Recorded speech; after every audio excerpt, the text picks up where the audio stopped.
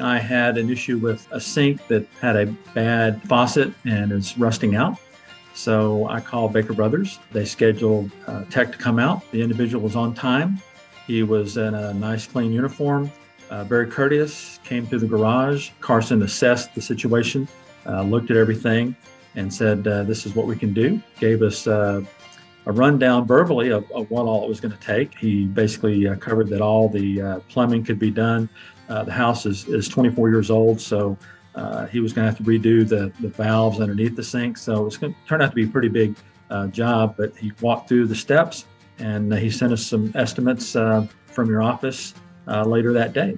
And then we had a nice follow up call. There's always been nice follow up. Got a follow up call from the office as to, um, you know, did you have any questions regarding the visit?